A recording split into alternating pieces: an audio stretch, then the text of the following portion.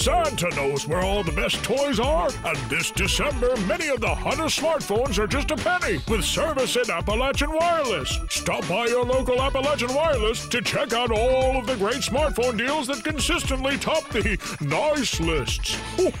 this Christmas is truly going to be bigger and better than ever. Better service, bigger savings, that is. That's today's Appalachian Wireless! They're common sights for much of the year, and they're also common targets for complaints. School buses.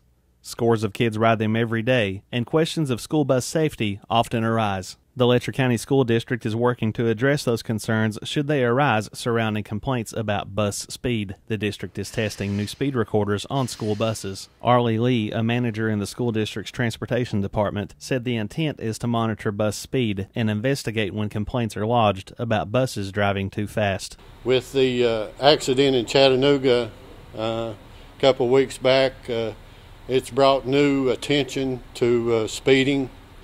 Um, and uh, we uh, the the calls have picked up.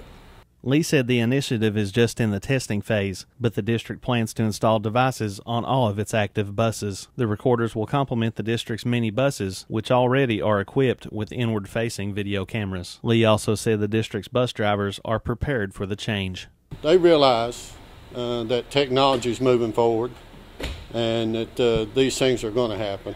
Uh, technology is evolving as the buses get better, the uh, the camera systems get better, and uh, and I feel that our drivers are getting better too. Uh, we have top quality drivers that that uh, are trained efficiently.